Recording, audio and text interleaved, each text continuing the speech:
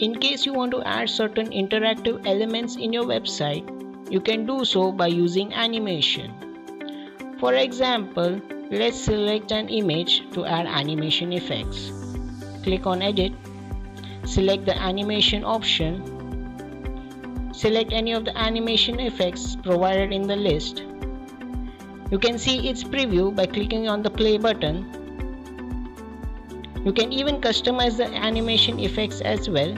Click on the customize button here you can customize the direction, the duration as well as the delay of the animation effect. Let's make some changes. Let's increase its duration. Click on save. Again click on save. Notice how the animation effect has been applied on the image.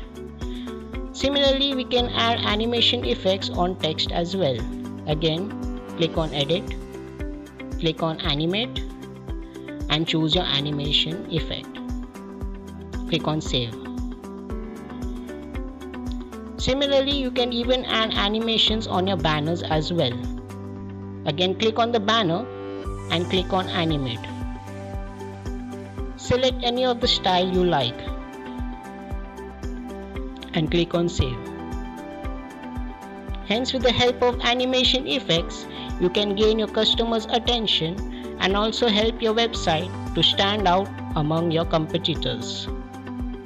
Thanks for watching. We hope that this video was helpful to you. If you have any questions, you can comment below or contact our customer support team. For more videos, subscribe to our channel and click on the bell icon for further updates.